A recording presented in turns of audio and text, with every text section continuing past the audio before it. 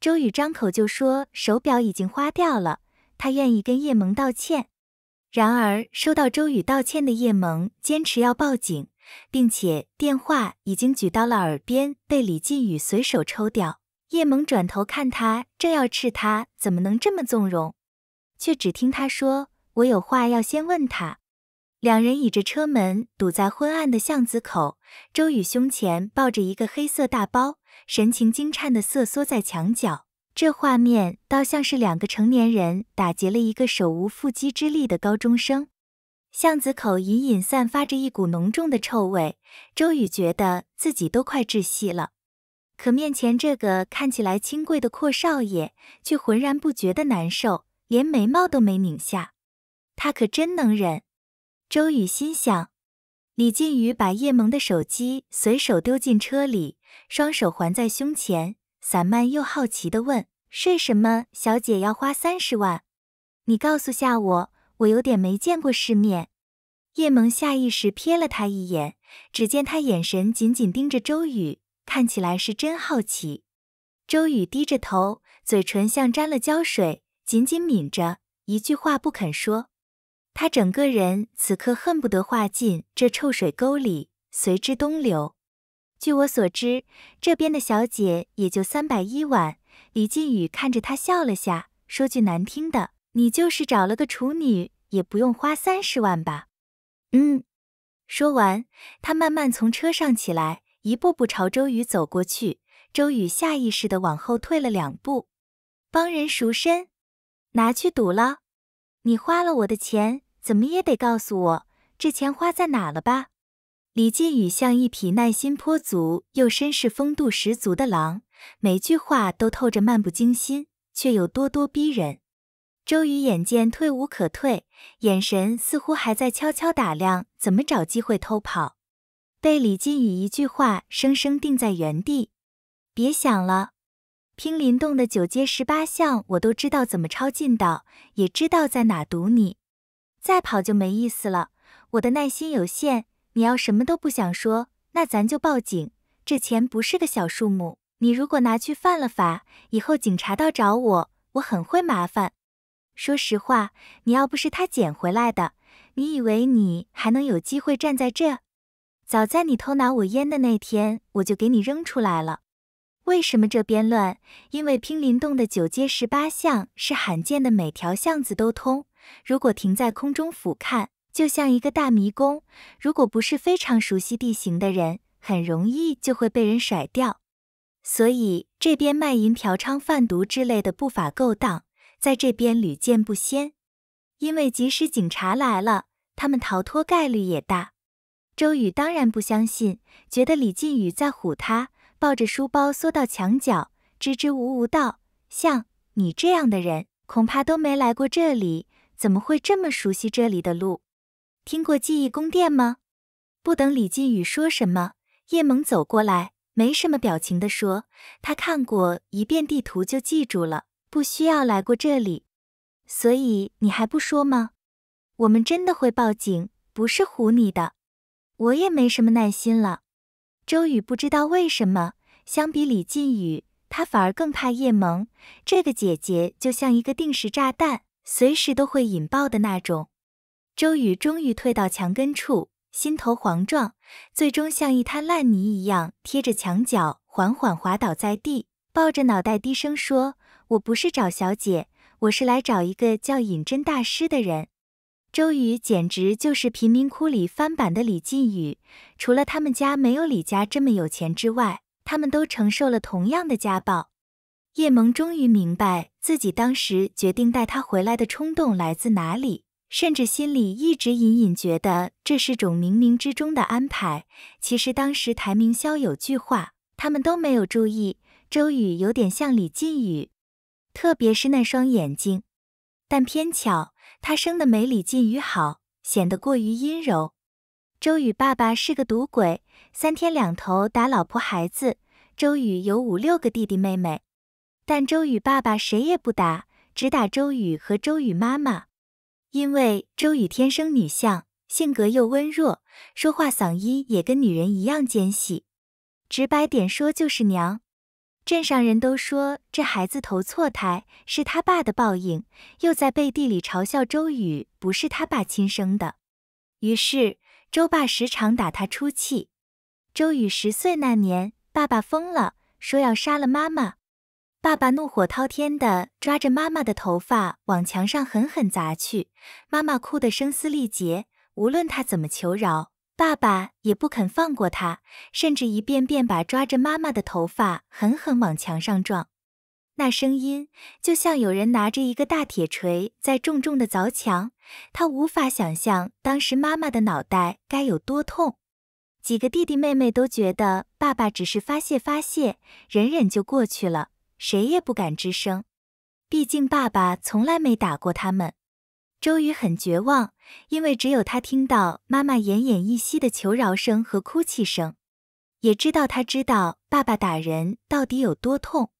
那晚，周瑜偷偷跑出去报警，后来警察来了，妈妈险些抗下一条命。可然后呢？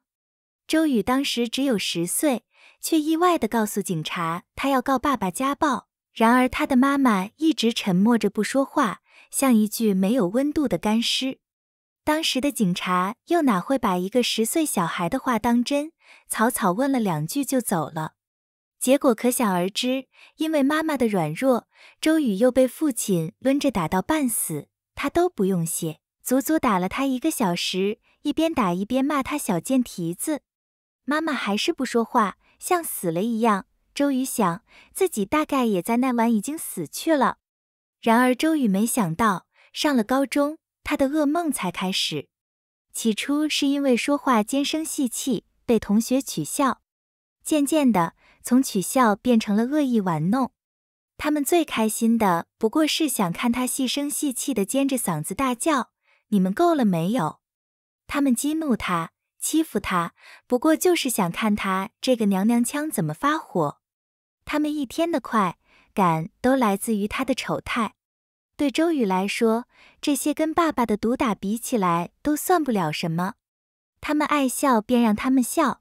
他觉得他既然是个异类，他就应该活在地底。直到有一天，他跟一个富二代起了冲突。然而，这个富二代折磨人的方法简直花样百出。富二代想寻点刺激，便逼着周宇去偷钱，去掀女生裙子，还拍下视频。放到论坛上，让他成为众矢之的。周宇如果不答应，就二话不说把他拖进厕所去打，打完了再往他脸上撒泡尿，狠狠撵上两脚。如果他还不去，下一步便会把他的脑袋摁进厕所里喝小便池的水。十七八岁本应该是见山是山、见海是海的明亮年纪，可周宇被这个恶魔一步步拖进深渊里。后来，周宇被逼退了学，但偷东西这种事情，一回生两回熟，三回就会上瘾。周宇发现自己已经戒不掉了，他甚至都不知道自己什么时候偷了这件东西，但他就是不知不觉的伸手去拿了。有一回，他在外头偷到了这位隐真大师的身上，结果还被捉了现行。那时候他手法已经很老道。在那之前，从没失过手，那是第一次。尹真大师瞧他年纪轻轻，并没有同他计较，甚至苦口婆心的劝他回头是岸。临走时，还从一个布袋子里掏出一本书送给他。听到这，靠在车上的李靖宇轻轻掸了掸烟，问：“什么书？”这本书他随身携带的，他每天几乎都要看好几遍，里面很多话都写进了他的心坎里。但周宇不知道该不该拿出来，迟疑的看着他俩。李靖宇皱了皱眉，没耐心了。周宇立马掏出来，就这个门。整本书书皮是全白，没有任何腰封之类的设计，就正中央一个大大的门字，甚至连作者是谁都没写。设计很简洁，但也很盗版。李靖宇靠着车门上低着头，一手插兜，一手掂着书来回翻看了一下，很快便无语了。亏你还上过学，这非法出版物你看不出来？他当然知道这是非法出版物。周宇正要说话，旁边猝不及防地插入一道声音：“这书我怎么看着这么眼熟呢？”叶萌把书抽过去，李靖宇又觉得可能是自己孤陋寡闻了。他好整以暇地靠着车门，双手环在胸前，做出一副洗耳恭听的架势。来，两位，给哥哥说说，这是什么惊世巨作？叶萌就着昏黄的路灯翻了两页，不，我确定我没看过，但这个书封我好像在哪见过。你别吵，让我想想。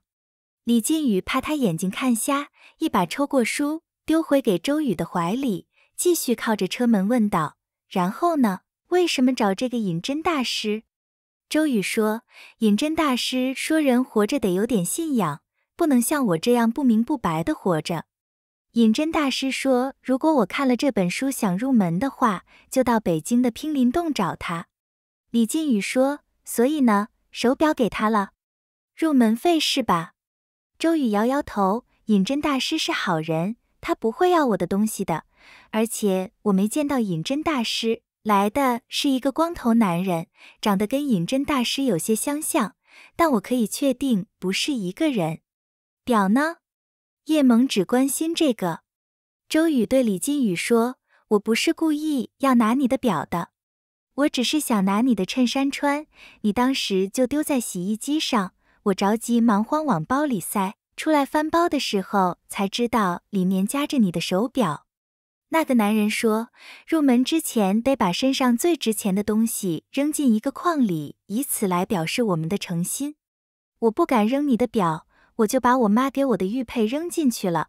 结果那帮人觉得我不诚心，把我赶出来，表被他们拿走了。走吧，报警！李靖宇二话不说，转身上车。叶萌没跟上去，而是低头靠着车门一动不动。他不动，周宇更不敢动，眼神小心翼翼地打量着他。最终，叶萌只是冷淡地瞥了他一眼，什么都没说。打开车门进去，淡淡的扫了他一眼，上来。等三人坐定，叶萌坐了一会儿，对李靖宇说：“我想起来这本书在哪看见过了。”李靖宇回头看着他，那。我妈叶萌说，当初我妈死后，警察交给我们的遗物里就有这本书，是在我妈车里发现的。李靖宇，你妈信教吗？叶萌摇头，我说不上来，她看起来不太信教。但我去北京读书之后，其实家里发生的事情我知道的不多。李靖宇头也不回，向后冲周宇一摊手，把书给我。周宇老实巴交的递过去。李靖宇低着头，随手翻了翻。叶萌开着车，时不时瞅他两眼。就这个时候，李靖宇认真低头看书的样子，好像又回到了宁随那时候。他看书，他就趴在桌上看着他，数他密密丛丛的睫毛，玩他的手。他那时候又乖又闷骚，一点都不像现在这样咄咄逼人，像只小猫，有时候高冷，有时候粘人。李靖宇随手翻了两下，发现没什么异常，都是一堆心灵鸡汤，就是网上随处可见的那种。叶萌妈妈被骗正常，周宇这种年轻人居然还能上当，他挺诧异的，把书丢还给他。年轻人，你都不上网吗？这种心灵毒鸡汤，你要想听的话，我旁边这位姐姐能给你分分钟编三本。叶萌横斜眼，你是在骂我吗？没有。夸你呢，李靖宇耷拉拉的靠着，懒洋洋的点了下脚，眼皮垂着一条冷淡的弧线，腻他，甚至摆出一副跟他清算旧账的架势。你不是挺能说的吗？不是还要为我打江山吗？江山呢？在哪呢？周宇一头雾水，他抖着胆子小声问了句：“你们什么关系呀？”李靖宇一副贼欠扁的样子，漫不经心地看着窗外疾驰的夜色。你猜？结果叶萌手机响了，来电人是台明霄。等他挂掉，叶萌摘掉蓝牙耳麦，对李靖宇说：“我现在得去接勾凯，我把你和周宇放警局门口。”李靖宇回峰会员。叶萌一愣：“你不报警了？那伙人明显是个传销组织。”李靖宇不动声色，淡声说：“你别管了，去忙吧。”两人下车，李靖宇和周宇站在大门口，院子里有股淡淡的石榴叶的清香。李靖宇一边摁密码锁，一边对周宇说：“有什么东西要用，跟我说了再拿。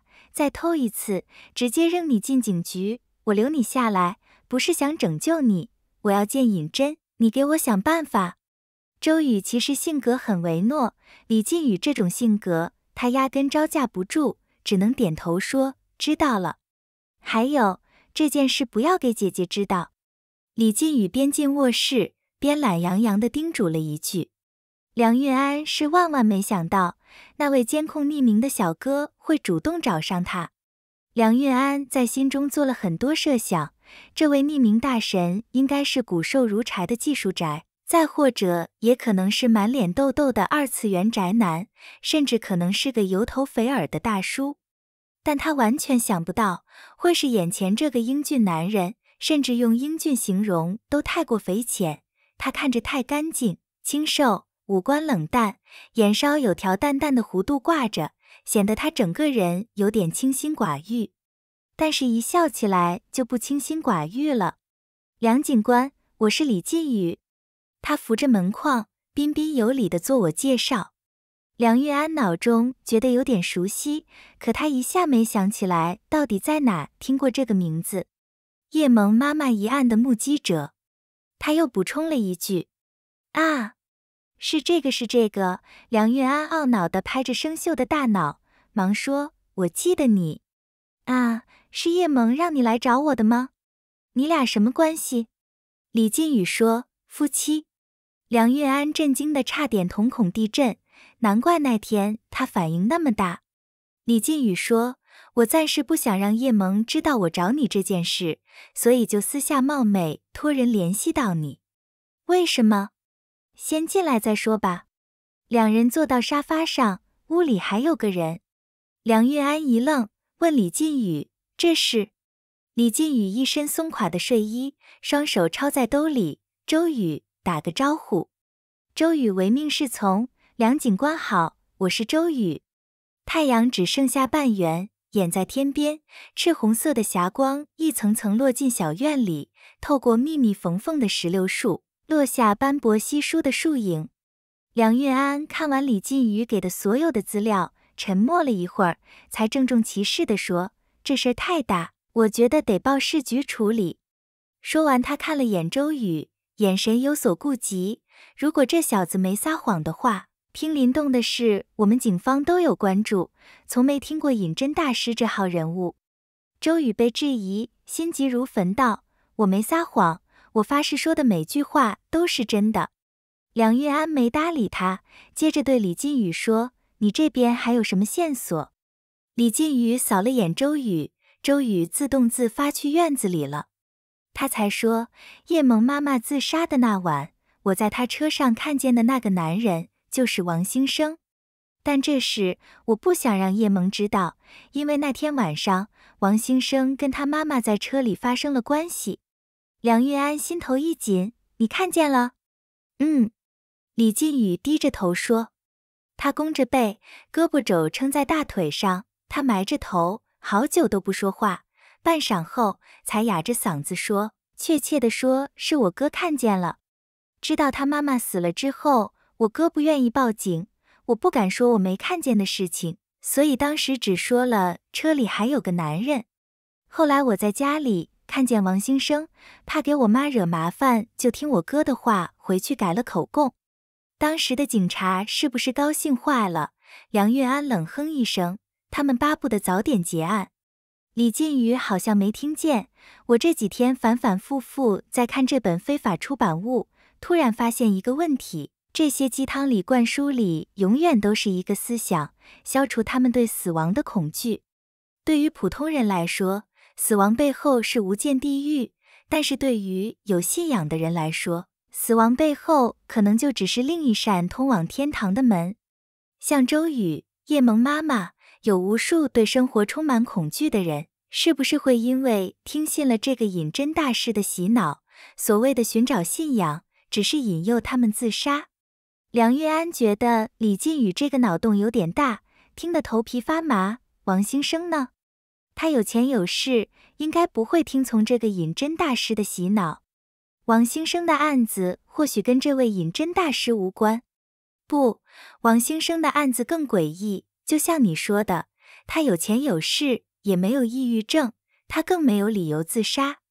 现场的监控还被人改过，还有他十七号失踪一整天，种种迹象都表明他不是单纯的自杀。我总觉得王兴生好像想告诉我们什么。那晚，梁运安匆匆从李靖宇家里离开。两天后，他给李靖宇打了个电话，声音激动，情绪难掩，却掷地有声。我们昨天特地派人又去了一趟王兴生的家。好家伙，他家里真的有那本非法出版物。还有个好消息通知你，因为两个案子共同点太多，你老婆的案子我们会申请并案重查。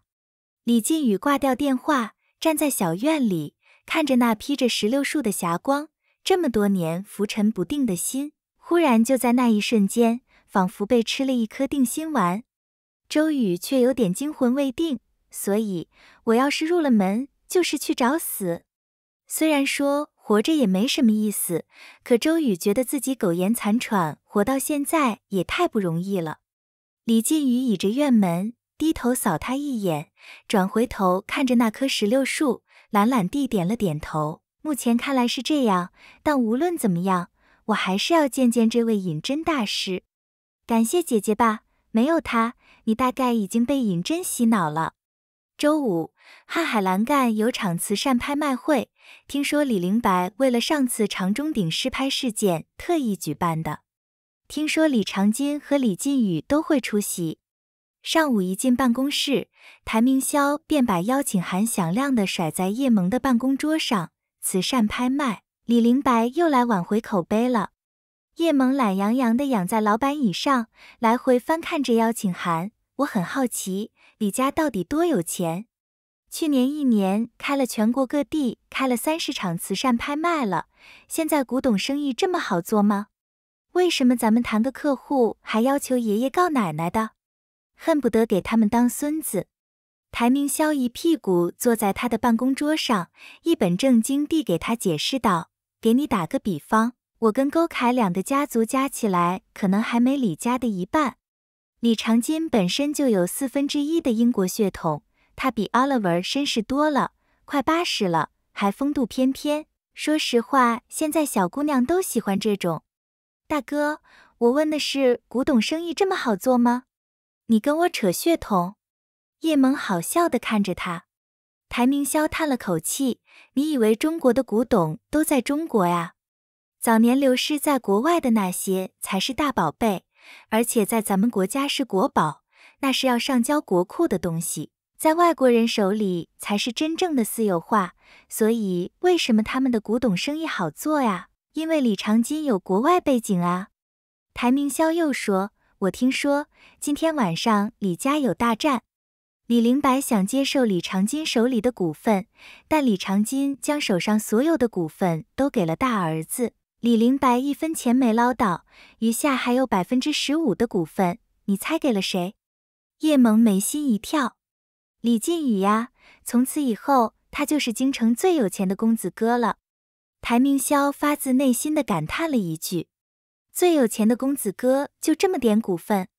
姐妹，台明霄一脸你不懂的样子，这么点股份已经可以呼风唤雨了，好吧？